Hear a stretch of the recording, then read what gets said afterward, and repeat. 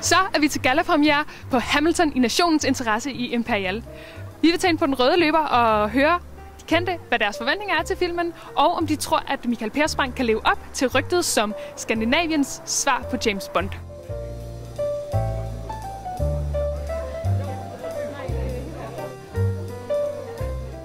Jeg glæder mig sindssygt meget til at se den her. Det er jo hvad øh, Europas svar, eller Nordens svar på James Bond. Så det må jeg da indrømme, og så er han jo Altså, når man står og kigger på den plakat, det, han er jo en super fed øh, skuespiller. Altså, det er jo ligesom uh, 007. I stedet for det britisk-amerikansk, så er det bare... Uh, så er det svensk også? Svensker.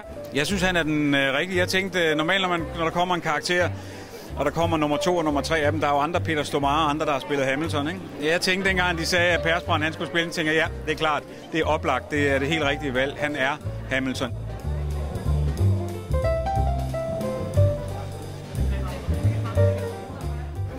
Jeg forventer mig rigtig meget, fordi Katrine er en øh, super fed og dygtig instruktør, og øh, Persbrandt er en rigtig cool øh, broderlands skuespiller, så jeg forventer mig rigtig meget. Det er sjældent, jeg glæder mig så meget til en film faktisk, i hvert fald ikke i snit regi her, så jeg glæder mig rigtig meget. I skal forvente et kæmpe action brag, øh, en super, super lækker Persbrandt og ren underholdning, og lidt, lidt man kan tænke over på vej ud af biografen. Hvad med spændingsniveauet? Hvordan bliver det? Stort, højt. Hvad er højst? 10? 10 plus. Hvordan kommer folk til at have det, når de, kommer ud, når de går ud af biografen? Jeg tror, de har fået et adrenalinkick. Og jeg tror, de er lidt overrasket måske, og forhåbentlig glade. Så har vi hørt lidt fra den røde løber, og nu skal vi ind og se Hamilton og se, om Michael Persbrandt han lever op til sit ry om at være Skandinaviens svar på James Bond.